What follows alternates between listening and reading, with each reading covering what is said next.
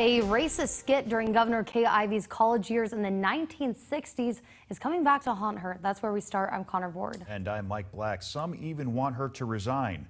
Governor Ivey issued an apology today over an incident that happened 52 years ago. She was president of her Alpha Gamma Delta pledge class at Auburn. Earlier this year, photos of her sorority sisters in blackface were revealed, but she did not appear in those photos. Now, an audio tape emerged from a radio interview about an offensive skit at a Baptist Student Union party. Today, she says she does not remember the skit or the interview, but does apologize. My fellow Alabamians, I offer my heartfelt apologies for my participation in something from 52 years ago that I find deeply regrettable. I will do all I can going forward to help show the nation that the Alabama of today is a far cry from the Alabama of the 1960s.